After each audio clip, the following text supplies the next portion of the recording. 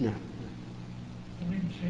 يسأل فيقول إذا حكم الحاكم بغير ما أنزل الله وهو يعتقد وهو يعتقد وجوب الحكم بما أنزل الله وأنه أفضل وأحسن من غيره وإنما حكم بغيره لهوى في نفسه وتقليدا لمن سبقه من الحكام فهل يكفر بذلك كفرا مخرجا من الملة؟ جزاكم الله خير لا يكفر بذلك كفرا مخرجا عن الملة.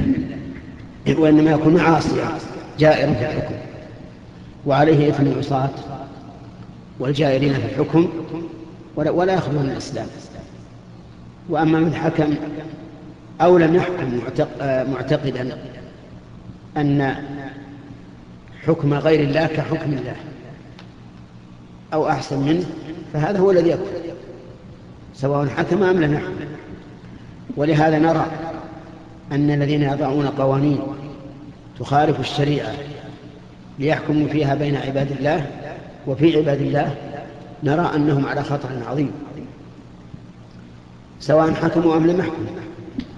ونرى فرقا بين شخص يضع قانونا يخالف الشريعة ليحكم الناس به وشخص آخر يحكم في قضية معينة بغير ما أنزل الله.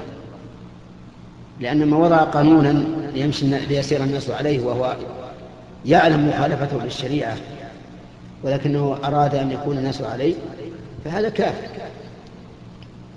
ولكن من حكم بمسألة معينة يعلم فيها حكم الله ولكن لهوى في نفسه فهذا ظالم أو فاسق.